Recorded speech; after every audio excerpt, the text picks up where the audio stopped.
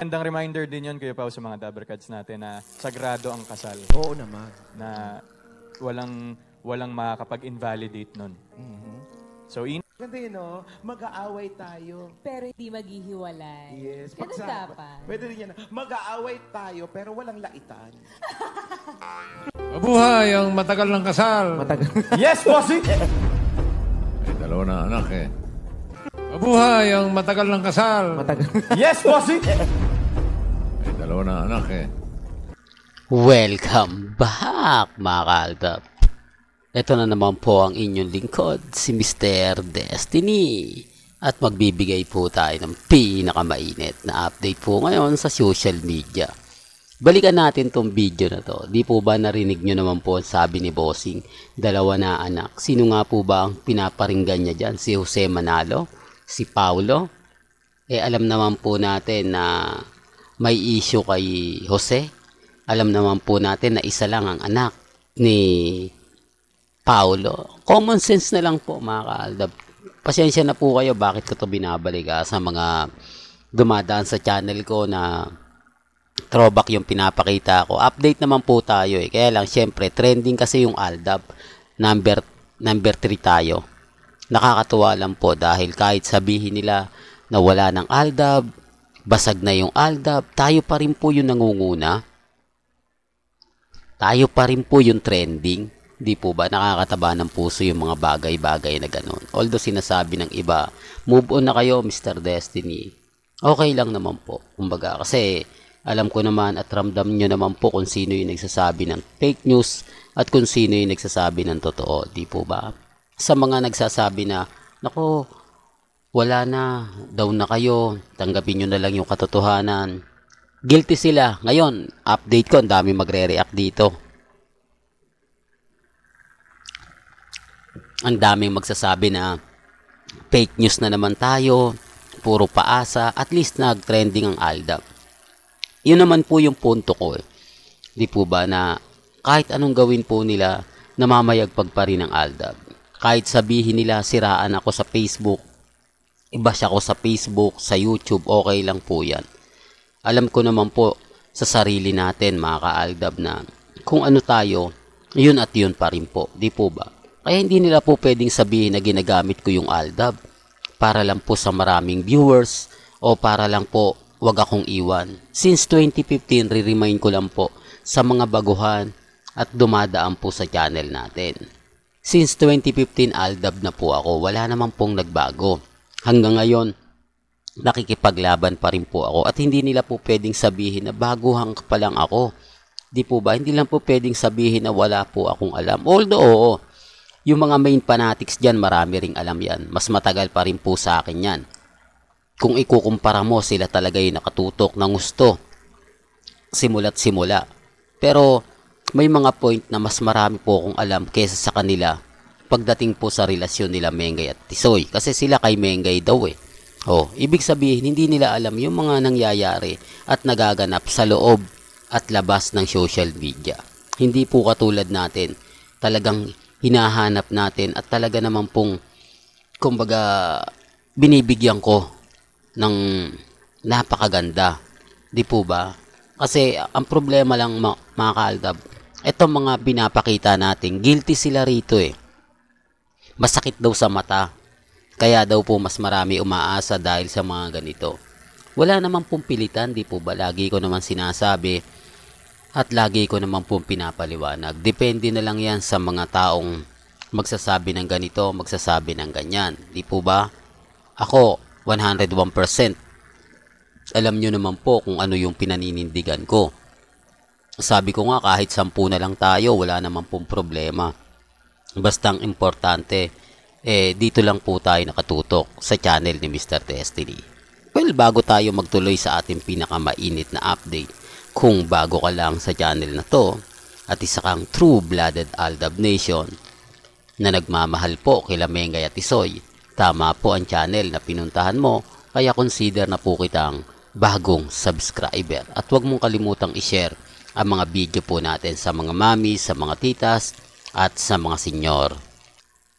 Ngayon mga kaaldab, napakaraming ganap ni Alden. Katatapos niya lang nga po daw kagabi na mag-black screening na kung saan dumalo rin siya. Yan ang kagandahan nyo kay Alden.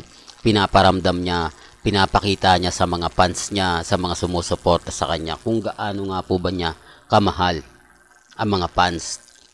Di po ba? At active na active po talaga si Alden Richards pagdating sa Instagram, sa Twitter, sa Facebook. Kaya nga po tayo, kung hindi magte-trending yung yung boycott no solo project. Di po ba? Ang dami, ang daming mga kumbaga pamamayagpag na kinakatakot po nila. Kaya nga po binabasag nila eh. Kita nyo po ba? Kapag ka Aldab ako nagbibigay ng update tapos maraming magre-react, maraming magko-komento.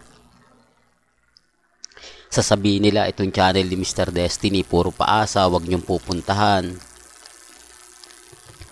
Ayaw, ayaw na po kasi nilang dumami pa yung mga sumusuporta sa akin. Ayaw po, ayaw po nila na kumbaga mas pagpiestahan ako. Kasi updated tayo, yun ang isa sa rason at dahilan kung bakit nga po ba sila guilty. Kung bakit nga po sila galit na galit sa channel natin. Di po ba? Sabi ko nga po sa inyo kung pupunta po kayo ng Instagram, Twitter, Facebook at update lang yung habol nyo, tayo po yung nangunguna. Tayo po yung bida. Tayo po talaga yung pinag-uusapan hanggang ngayon. Totoo naman po yan eh. Hindi naman po magte-trending ang Aldab kung mga post lang ng ganito. Di po ba? Samantalang never po nag nag-trending ang Armain. Totoo to mga ka-Aldab. Nagtitrending lang sila kapag may ganap. Eh kami, walang ganap. May ganap man o wala. Nagtitrending po kami. Kaya nga po pinagmamalaki ko yung mga mamis, mga titas, mga senyor na hindi bumaliktad. Kumbaga tuloy-tuloy ang suporta kila Mengay at kay Alden. Although sabihin natin, for the sake of the fans, oo marami na. Marami nang bumaliktad, ramdam naman ng ibang Aldab Nation yan eh. Yung mga vlogger nga po, di po ba? Nagbaliktaran na eh. Alam din ng iba yan. Kaya hindi ko po pwedeng sabihin na walang bumaliktad. Meron po talaga, di po ba? Pero kahit marami, mas marami pa rin po ang silent Aldab. Yun po yung lagi kong pinapaliwanag. Sila po yung tahimik lang. Sila po yung nagaantay lang. Pero naniniwala. Iba po kasi yung nagaantay ng wala. Iba po kasi yung nagaantay ng hindi naniniwala. Di po ba? Sabi ko nga po sa inyo, kita nyo naman po, karamihan ng mga nagko-komento sa akin, mas marami pa pong alam kesa po sa ina-update ko. Kapag nakita kasi nila yung throwback video, kapag nakita po nila yung mga update sa Broadway, marami na po silang alam, marami na po silang kwento na oo Mr. Destiny na andyan ako, kumbaga nanood ako niyan, grabe yung tilian dyan, halos hindi mo na marinig yung sinasabi nila sa sigawan at hiyawan ng mga Aldab Nation. Ganon din naman po sa Sunday Pinasaya. Di po ba? Yung mga nanood sa Sunday Pinasaya, real talk to ah, kaya nga po nagkaroon ng issue. Kaya nga po natanggal din si Mengay dun eh. Kasi halos karamihan na, Mengay yung sinisigaw. Eh, paano naman yung mga artista ng GMA Kapuso? Paano naman yung mga artista nila na kumbaga natatabunan tapos ang pinakamasakit pa doon, hindi nga pumirma ng kontrata si Mengay sa GMA Network na pinipilit nga ng GMA na maging artista nila si Mengay. Kasi pag naging artista na nila, unti-unti na lang kukunin yan eh sa Itbulaga. Totoo yan mga kaaldat. Eh ang problema, ayaw ng TBJ. Sinakal nila si Mengay. Di po ba? Hindi nila binibigyan ng mga magandang project. Tapos paghihiwalay naman po yung Aldab. Di po ba? Yun ang malungkot doon. Tapos galit sila kapag binabanggit ang Yayadab, Aldab. Eh ano naman po yung trademark kay Mengay? Ano naman ang itatawag kay Mengay? Doon pa lang sa Mengay, di po ba? At yung taga Santa Maria Bulacan, ni Comay Mendoza. Eh kala ko ba Quezon City na nakatira si Mengay? Bakit pinaninindigan pa rin ni Mengay na taga Santa Maria Bulacan siya? Doon pa lang may mali na yan. Daming lapses, ang daming dapat ipaliwanag pero kapag ako nagtatanong, wala, bitter lang po yung isasagot nila sa akin. Delulo, kulto, yan at yan pa rin po mga kaaldab.